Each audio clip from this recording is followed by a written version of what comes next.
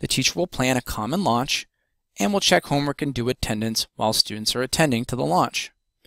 The teacher will also debrief that launch, and it's often to be done to help build non-cognitive skills, such as growth mindset or any types of other skills that are currently being worked on by the class. This is because students, regardless of where they happen to be in the curriculum, can all access non-cognitive skills. So this makes an ideal uh, topic for teachers to use as a launch.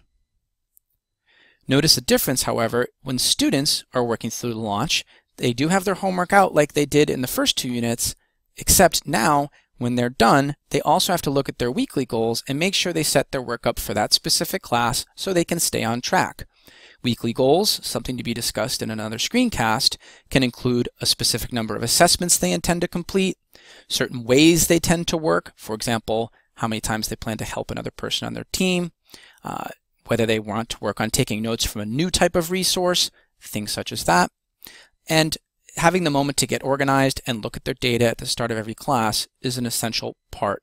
of the class period to make it happen with fidelity.